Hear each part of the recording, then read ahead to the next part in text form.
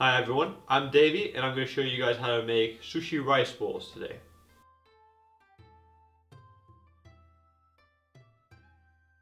To make the sushi rice balls, all you need is about 25 grams of cooked sushi rice, which is more or less one ounce, and a piece of cling film and some toppings. So for this one, we're just going to add some sushi rice into the cling film. Now you just wrap it round and you just twist. This forces the rice into a ball. Make sure you release any air so that it just compacts a little bit. And this forces it into the sphere. Now you unwrap. Then you add your toppings, which in this case is some smoked salmon and a little piece of nori. Now shiny side up and you just put it on. Now you put the whole thing back into the cling film, putting the toppings down, wrap around the cling film again. Twist it a little bit again just to make it spherical and get the ingredients stuck onto the ball. Now you unwrap it and that's it. Done. One smoked salmon ball. There's nothing more to it. It's a very simple recipe, but these are great for any kind of occasion. You have lots of different varieties and you just mix and match. It would be great for weddings, events, any kind. I mean, even just a little starter in a sushi restaurant, that would be incredible. You add a little bit of soy sauce and some wasabi on the side. Beautiful. Alright, so I'm going to do another simple little sushi rice bowl using smoked salmon again. Now you put your 25 grams, more or less, one ounce of cooked sushi rice inside your cling film. Wrap it around again. Put it through and then just turn. And just make that sphere again. Now you unwrap. Place a piece of smoked salmon on top. Like so. For this one I'm going to add thin little strips of nori, which I've just cut with a scissor. And you just wrap them around, like so. Mm, they're very fragile, watch out. You don't have to press it too tightly, just, just wrap it around softly and it will tighten up itself if need be. Okay.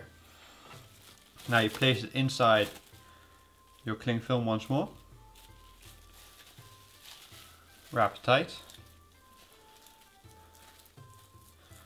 Okay, now let go again, take it out. And for this one, we're gonna add a little bit of Kewpie mayo, a little dot. This is great Japanese mayo. You should really get some if you don't have them already. And then a little bit of silk egg yolk. Now this is very easy to make. I made a little video to show you guys how. A link will appear now in the top left corner and we're gonna add one salmon egg. Okay, there we go. And that's how you make a beautiful, beautiful little sushi bowl with smoked salmon. Now for this one, you wanna make a cross of tuna over the sushi bowl. Now it doesn't have to meet at the bottom.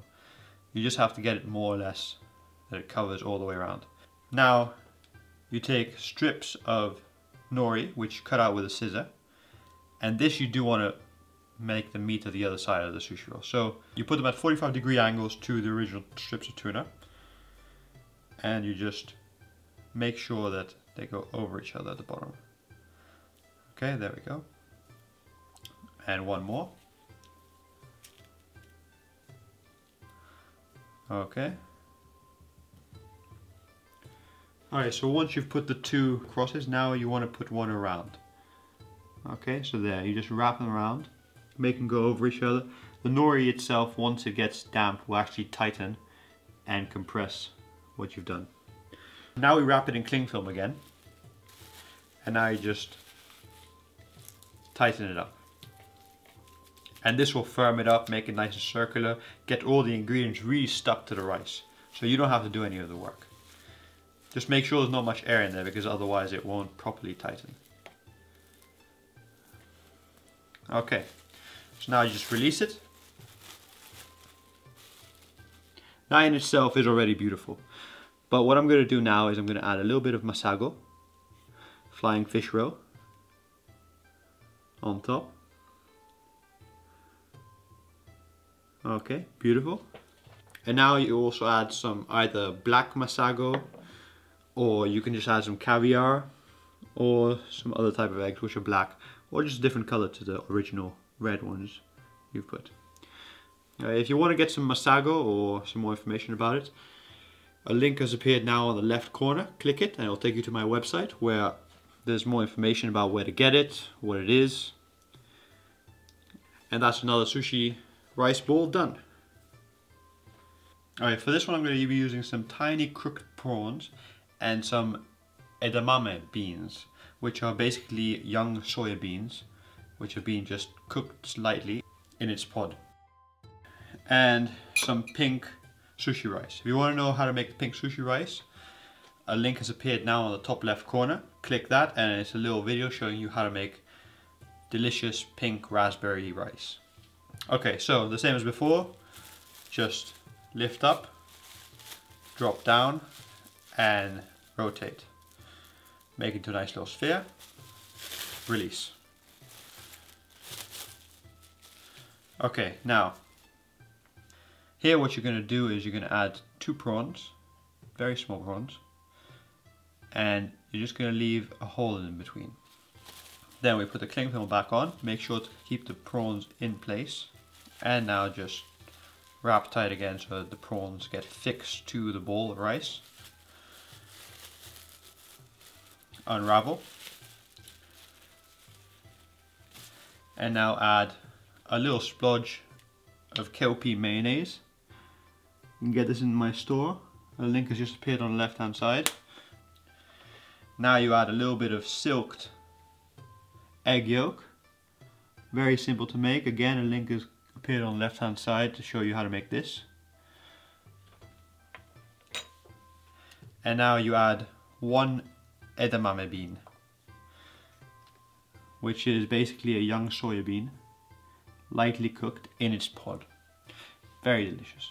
Okay, and last but not least, we finish it off by sprinkling a little bit of cut chive on top. Thank you for watching my how to make sushi rice balls video. Um, it takes me about 14 hours to make one of these videos from start to finish. And that's an average. It can actually be more depending on which video and whether it's cooking and stuff. And I would just like to request a small little favor from my viewers, you. Uh, if you could please press the share button below and then choose whichever social media platform you prefer, say Facebook or Twitter, Google Plus, there's a few to choose from, but that's like the main ones. And if you could please just take a moment and share this video. It would really, really, really help this video and my future videos. Or if you don't like this one and you prefer to share a different one of mine, do that to any of the other videos I have. It's a great way for more people to get into seeing my videos and then I get more people and then I get more motivated, I make more cooler stuff. Alright. Another great way to help me out, besides pressing the like button, the share button, the favorite button, all those other buttons around YouTube, is to just grab my website address, which is this here, and just paste that into Facebook, Twitter, Google Plus, or any other social media platform you desire. And this will really help me out. Now you can find this link below in the description box. I'll put it as the first thing and just grab that, copy it and paste it onto whatever social media platform you're using and that'll really help me out to spread my website and make my work more known. Thank you so much to all my subscribers. I mean, I love you all equally. And it's great. I mean, we've got now 4,000 subscribers by the time this video comes out. It's, it's a lot of people.